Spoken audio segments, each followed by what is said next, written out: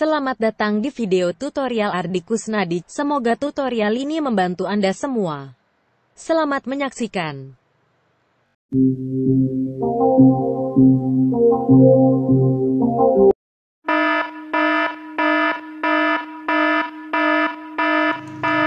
Assalamualaikum warahmatullahi wabarakatuh Pada kesempatan kali ini Saya akan membuat tutorial Bagaimana cara membuat Video seperti video Barusan nah, Seperti ada seorang pembaca berita wanita Yang membacakan tulisan Apa yang kita Bicarakan Nah jadi nanti Yang kita perlukan adalah mempersiapkan teks Yang akan kita jadikan tulisan Nah, di sini suaranya masih suara Google.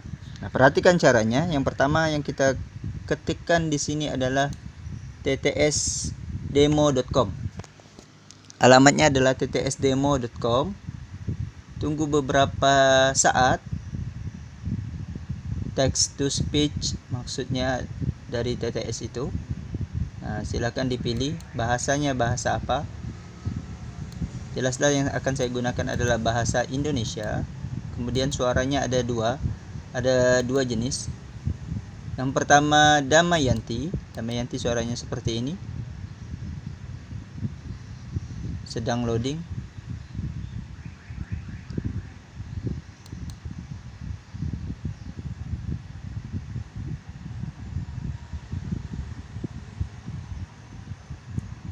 Oke saya bukakan saja halaman yang sudah saya buka dari tadi. Nah seperti ini. Kita lihat suara Damayanti itu kira-kira bunyinya seperti ini nah jadi seperti ini suara sampelnya silahkan diklik saja sampel ada udang di balik batu nah jadi seperti itu ada udang di balik batu kemudian kita bisa ganti Damayanti menunggu sejenak. Ada udang di balik batu. Nah, itu ada dua suara yang berbeda. Kemudian caranya adalah Bapak Ibu tuliskan di sini di kotak enter text. Nah, misalkan saya tulis selamat bergabung di grup ini. Silakan Bapak Ibu memperkenalkan dirinya kemudian klik say it dia akan menunggu sejenak loading. Sedang membaca tulisan. Selamat bergabung di grup ini. Silakan Bapak Ibu memperkenalkan dirinya.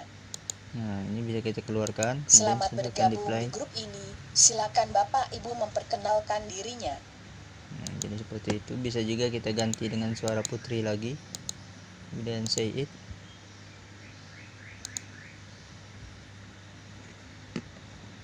Selamat bergabung di grup ini. Silakan Bapak Ibu memperkenalkan dirinya. Nah, Selamat bergabung di grup ini. Silakan Bapak Ibu memperkenalkan dirinya. Ini nanti bisa kita ganti dengan suara kita. Jadi ketika membuat mengedit videonya silakan dibuat videonya menjadi bisu kemudian masukkan rekaman suara kita di bawahnya tentunya dengan teks yang sama dengan yang kita masukkan ke dalam video tersebut. Sehingga nanti terdapat sinkronisasi antara mulut yang pengucapan dengan mulut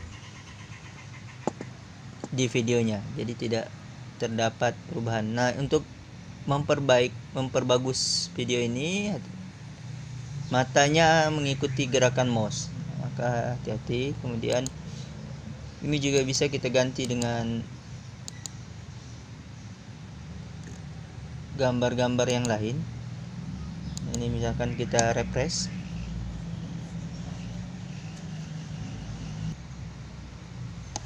Tunggu sejenak.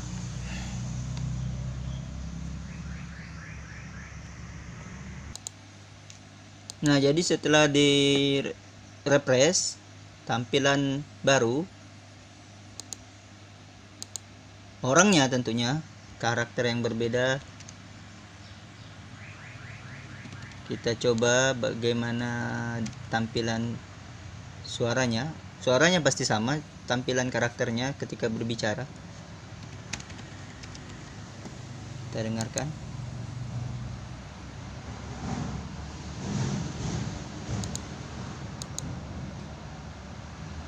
Silakan berdiskusi di grup ini. Silakan berdiskusi di grup ini.